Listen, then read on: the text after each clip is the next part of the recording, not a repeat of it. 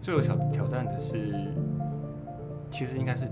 有一点即兴跳舞的舞蹈的那一段戏，因为其实本身我肢体有点僵硬，所以对于舞蹈表现其实一直都很生涩。但是因为《翠丝》这个片，它的舞蹈表现比较不是传统我们看到的舞蹈，需要有节奏，需要有节拍，然后需要有。动作多么的精准，而反而是比较用舞蹈或是用肢体的姿态来表现角色的当下的情感跟情绪。那在那场戏，其实我们对这个肢体表现做了三四天的排练，最后出来的成果其实，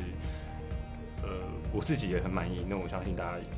应该也觉得还不错。呃，我们有两场吻戏，而两场吻戏我们都没有什么。排练，甚至我们到现场就只说了说，哦，等一下要这样这样拍，就拍了。甚至我跟黑哥还没有到，就才真的才见过面打个招呼，就拍了这么亲密的戏。我印象很深刻，是因为黑哥他完全不，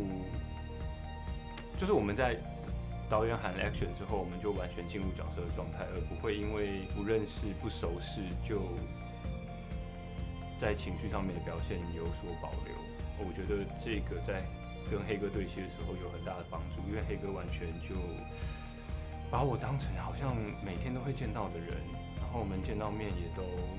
蛮热络的，